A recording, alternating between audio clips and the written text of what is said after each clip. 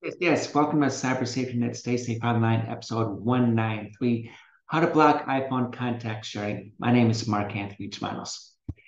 If you use an iPhone like I do, and you upgraded to version 17, then you have a feature called AirDrop, which is on by default. It's dangerous, and that's what I'm warning you about today.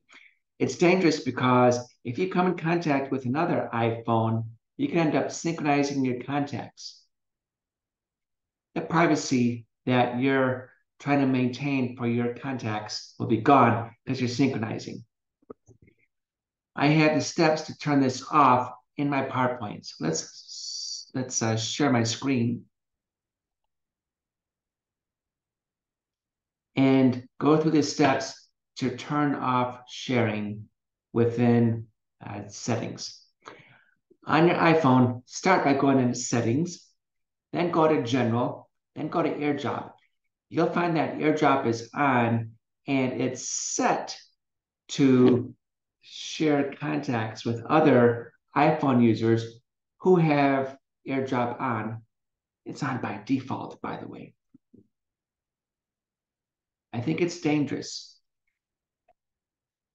It's even more dangerous when you read that small print under everyone for 10 minutes. That small print says AirDrop lets you share instantly with people nearby.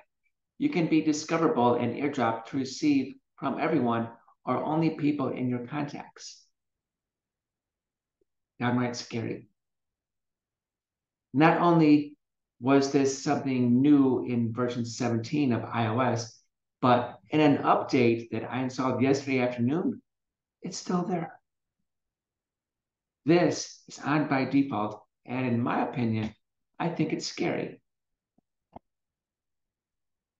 You know what? I'm done. I know your time is valuable.